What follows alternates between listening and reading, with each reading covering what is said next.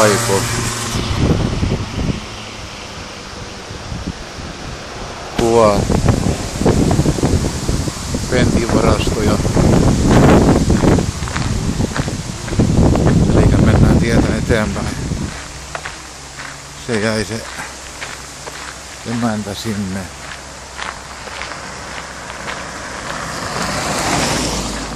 Tuula on tuolla ja sukulaispoika Pentti asuu tuolla jossakin metsän keskellä. Miljonääri poikamies, vanha romuvaraston omistaja. Tuostakin mennään sisälle, mutta mennään toista kautta. Tuula on täällä odottamassa ja sinne Pentin postilaatikko. Tuula on tossa ja no niin mennään katsoa. Tää näyttää tyhjältä tää tontti tässä, mutta niin mennään tuohon. Ei kai toi auto tonne tielle vaan jää. Niin. Ota, ota ne mukaan täältä. Niin katsotaan onko Pentti kotona. On se kotona. On kotona. Tuolla, niin Pentti asuu tuolla. Ja mennään katsoa siellä varmaan romuja vähän lisää näköjään olevan. On se kotosalla. Otitko sä sen muovikasta? Joo. Tässä on Pentin omaisuutta.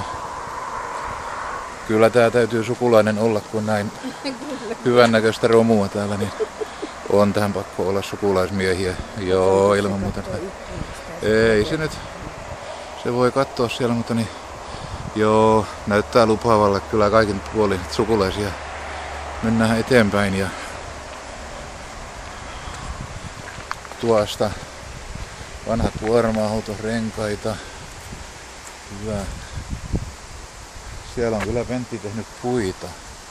Siellä on ihan, ei ihan käyttökelpoisia ole tuota, on vajonnut maahan tuo ja, ja tuota noin niin. On Pentti tuolla noin töissä. Se on muita puita. Täällä se on töissä, siellä joku naputtelee. Pentti! Täällä! Terve! Katos, täällä tulee Pentti. Se on pikkuserkku. Onks sä puita tehnyt? Ei, kun onks sä?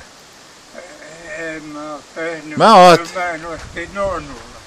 Mä, oot, mä otin vähän kuvaa sinusta. Kun... Nyt mä hakkasin rikki vaan taikka kassaan tommosia kissanruokapurkkeja, kun Joo. tulee niitä paljon ja sit on puurat, että mä oikein kädestelen. Niin, no, ei mielellään sitten. Tää kirveen kasvoit Joo.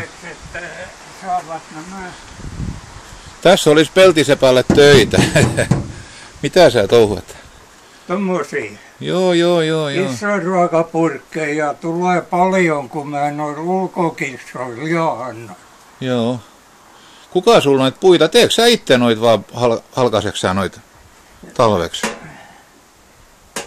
Nämä, sä nämä, mä olen ostanut nyt kevät talvella, niin Joo, noin melkein kaikki. joo.